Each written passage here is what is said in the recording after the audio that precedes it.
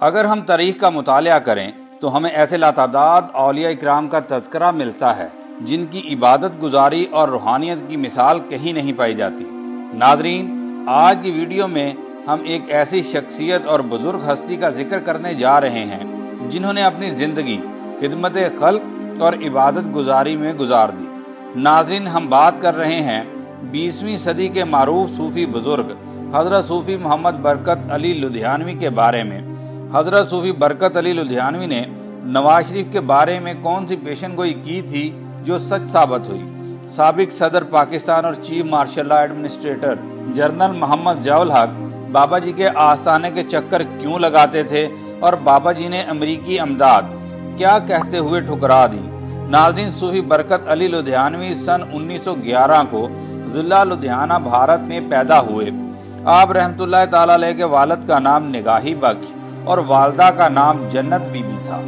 आप रहमतुल्लाह ताला ने 1930 में रॉयल ब्रिटिश आर्मी में आम सिपाही की हैसियत से शमूलियत इख्तियार की।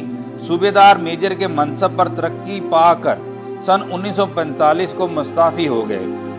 नाजरीन, आप रहमतुल्लाह ताला के इस्तीफे के बारे में भी लोगों में कई ख्याल पाए जाते हैं।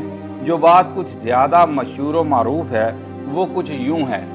इस वक्त जब आपने फौज से इस्तीफा दिया, जंग अजीम जारी थी, उस नाजुक वक्त में आर्मी से इस्तीफा ब्रिटिश गवर्नमेंट के खिलाफ गद्दारी के बराबर समझा जाता था, जिसकी सजा फांसी, उम्र कैद या काला पानी भी हो सकती थी। इब्तदा में आपको ब्रिटिश आर्मी की तरफ़ से तरह तरह के लालच दिए गए, जब आप रहमतुल्लाह ताला ने इनकी बात ना मानी तो कहा जाता है कि आपको जहर भी दिया गया। लेकिन अल्लाह की कुदरत के आपको कह आ गई और जहर खारिज हो गया। फिर बाद अजान आपको कोर्ट मार्शल के बाद बरी कर दिया गया। फौजी वर्दी उतारने के बाद आपने अहद किया कि बाकी की ज़िंदगी अल्लाह की इबादत, दीन इस्लाम की तबलीग और अल्लाह की मखलूक की बेलौज खिदमत में सर्फ की जाएगी। क्या में पाकिस्तान के बाद कुछ देर तक कई शहरों में क्याम पजीर रहे और फिर वो मुस्तकिल तौर पर फैसलाबाद के करीब एक इलाका में आकर रहने लगे। नाजरीन, सूफी बरकत अली लुधियानवी सिर्फ़ 16 बरस के थे जब इनकी शादी कर दी गई थी। एक बार सबक सदर पाकिस्तान जनरल मोहम्मद जौल हक फैसलाबाद आए तो उन्होंने सूफी बरकत अली लुधियानवी को पैगाम भिजवाया कि मैं आपसे मुलाकात करना चाहता हूँ तो आप सरकट हाउस फैसलाबाद तशरीफ़ ले आए।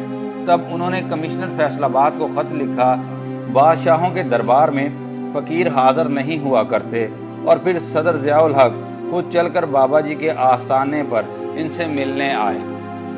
कम लोग ही जानते हैं कि सूफी बरकत अली लुधियानवी ने एक मौका पर नवाज़ शरीफ से कहा था, जाओ तुम्हें सरदारी सौंपी, तुम्हें तीन मरतबा बादशाहत मिलेगी।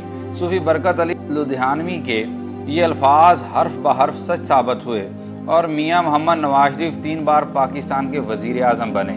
इसके अलावा सूफी बरकत अली लुधियानवी फरमाया करते थे कि वो दिन दूर नहीं, जब आलम अकवाम के फैसले यहाँ से लिए जाएँगे।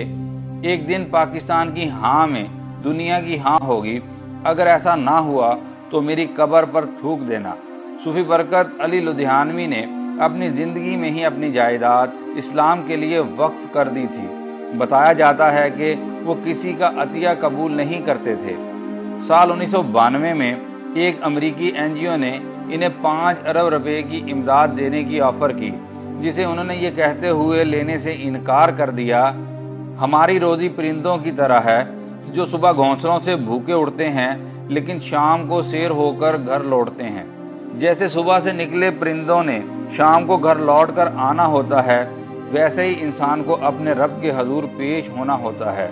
26 जनवरी उन्नीस सौ सतानवे को हज़रत लुधियानवी इस दार फानी से कूच कर गए। इंसानों का समंदर इनके जनाजे में मौजूद था और अकीदतमंद फूट फूट कर रो रहे थे। सूफी बरकत अली लुधियानवी को दारुल एहसान में सुपुर्द खाक कर दिया गया।